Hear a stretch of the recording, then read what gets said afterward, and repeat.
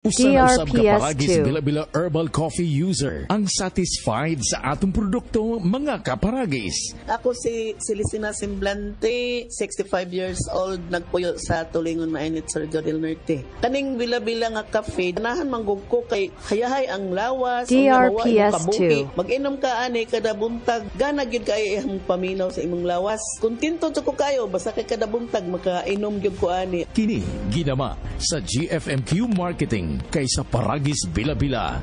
Dili na ka, mag-agwanta pa.